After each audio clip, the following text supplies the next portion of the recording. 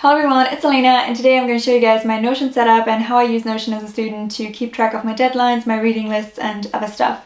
Notion is an amazing productivity and note-taking app, but it can be a little overwhelming at first, but once you get the hang of it, it is super useful. I've talked about Notion before and I've used the app for years and I can't believe that I'm saying this, but this video is actually sponsored by Notion. Thank you so much to the Notion team for sponsoring this video and let's get straight into my Notion setup.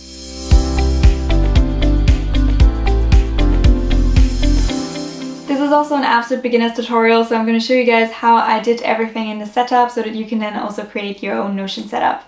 So this is what my Notion looks like when you open it up and my starting page basically leads you to other pages. In Notion you can create as many pages as you want and you can see them on the sidebar. And you can create sub-pages within pages so a page can basically act like a folder because it can contain as many subpages as you want. My starting page on the one hand contains some information like the weather forecast, a clock and other stuff, but then it also contains links to two other pages, law school and social media. And those two pages are basically like massive folders that then again contain lots of subpages for all of my organizations. So things like my content calendar for YouTube or things like my reading lists for different subjects. I'm going to focus on how I use Notion as a student, so we're only going to take a look at the law school section. But let's first stick with the starting page. So on there we have some widgets. So the widgets are the water counter, so there I just keep track of how much water I'm drinking because I tend to forget to drink enough and it's not great. Then I also have a clock, the weather forecast and a countdown to when I'm going back to Cambridge so that I remember to finish everything on my reading list for the summer before that countdown goes down to zero. You can embed things into your Notion pages and all of these widgets are embedded. I created them with Indify so you can just pick the widget that you want to create on Indify, then you can customize it and then just copy the link, add it to your Notion page and then choose that you want to embed it. And I also created columns on my starting page. So normally when you start a page in Notion it won't have columns, but if you want to create a column, just drag the item that you want to add to a new column to the side and when this vertical blue line appears, then you let it go and then you've created a column and that's how I pulled all of these widgets into the right place and of course you can also adjust their size however you want on the page. One little warning about these widgets from Indify, they are amazing if you're using Notion on your laptop. They don't look so great on um, devices like your phone or your iPad. Um, some of these don't really match the format. Uh, but there are a ton of other widgets for Notion out there, so you can just find something that fits your needs. But for me, I mainly use Notion on my laptop, so that really doesn't bother me. Then on my starting page, I also have a quote that I find quite motivational, and if you scroll down, you actually find my massive to-do list, which is separated by categories. So first we have my law school to-do list since it's my biggest priority. If I ever want to highlight something within that list because it's very important or urgent, then I can just click on the dots in front of the text item and highlight the entire line. Or if I only want to highlight something specific of a text, I can just select that part of the text and then highlight only that. Then I also have a social media to-do list and a random stuff to-do list. Random stuff is things like, for example, scheduling a doctor's appointment. Those are just things which don't really match any other category and so I just put it there.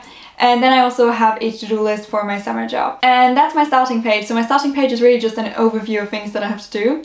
And then I can go into the specific category in which I want to work. So I have a law school or social media and we're to take a look at my law school page. So this page basically acts like a folder, it just directs you to other pages. So I have pages for all of my courses and in case anyone's wondering what subjects I'm taking, there it is. Those are my third year subjects and all of these subject pages are structured in exactly the same way except for my dissertation page. That one is still empty because I'm honestly not entirely sure yet how I'm going to organize writing my dissertation. So I first want to figure out a good organization system and then I'm going to set up that page. But all the other course pages are set up in exactly the same way. So let's just take a look at the equity page as an example. These pages are divided into two categories, an overview and then the reading lists.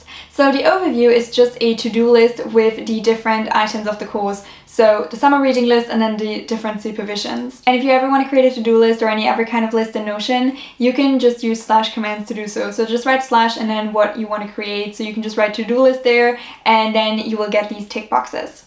And so I created this to-do list to have an overview of where I'm at in the course. So have I finished all the readings for supervision free? Great, then I can move on to the next supervision and work on the readings for that.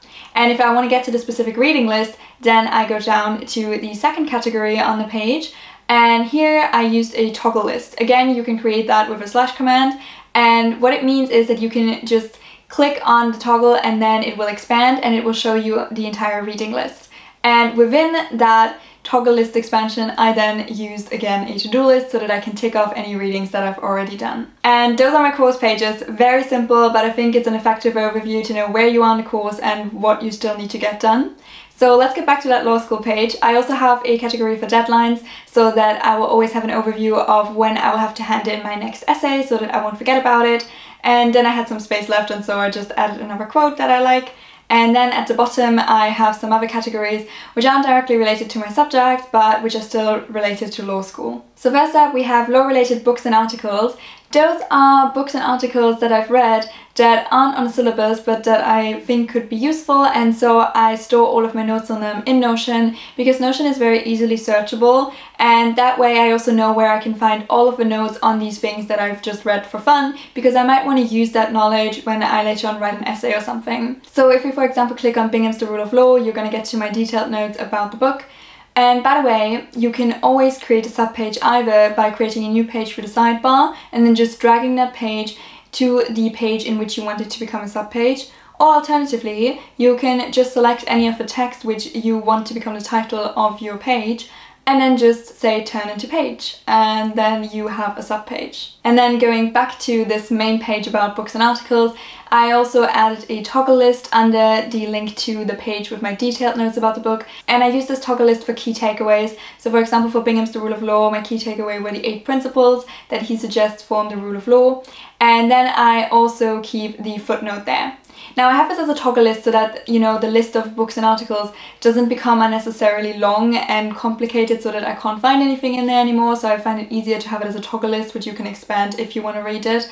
Um, and I keep the footnote there as well because I'm someone who hates making footnotes and so when a footnote is already done it's just so much easier for me to decide that I'm going to use the knowledge inside it because yeah, I just hate making footnotes. It's an absolute pet peeve of mine, but I know it's necessary. Going back to the law school page, we also have a page about outfit plans. And here I embedded a weather forecast, again done with Indify, and then I just have this basic table with Monday to Sunday and then just my outfits. I edit the weather forecast because you need to know what the weather is going to be like in order to plan your outfits. And personally, um, I tend to spend a lot of time thinking about what I'm gonna wear if I leave it to the morning. So instead, I will plan my outfits on Sunday evening and then I just have to grab whatever I plan to wear and that has made it so much easier for me to decide. Next we have my TBRs, so my list of books that I want to read. This isn't directly related to law school because these are books that I want to read for fun, but I think free time is also part of, you know, whatever you're studying and it's important that you make time for that. And I just think Notion is a great place to keep your TBR list because in Notion it's so easy to create, for example, a to-do list so that you can tick off any books that you've already read and you can add as many books to that list as you want as you can basically keep this page going on forever. So I think it's a good place for a TBR. And lastly, we have a habit tracker. So here I try to motivate myself to do things that I often forget to do, but I think they would be good for me. And so I have this habit tracker to basically have a little competition with myself, um, you know, to manage to always tick all the boxes so that my habit tracker looks nice. So the first category here is working out. I have been prescribed exercises for my back, but I tend not to do them because I'm lazy and that's not great. So that's why I put it into my habit tracker. Then next we have reading for fun. I sometimes just kind of like get so stressed that I think I don't have time for it, but I think it's important to make time for your hobbies and so I also put it there. And um, then also writing my diary. Writing in my diary is something that I've realized really helps me a lot but it's something that I often just don't do. I kind of forget about it. And the same goes for short meditations. So here we're talking like 5 to 10 minute meditations with an app. And yeah, that is my Notion setup. I hope you guys found this video helpful and if you guys want to use Notion then you can sign up with the link in the description box below. Notion is completely free for students and if you want to use the same Notion setup that I used, then you can just click the link in the description box below that leads you to my Notion page. And then you can just click duplicate and then it is a part of your workspace and you can customize it however you want to. Thank you so much to the Notion team for sponsoring this video and I hope you guys enjoyed watching it. Have a nice day. Bye!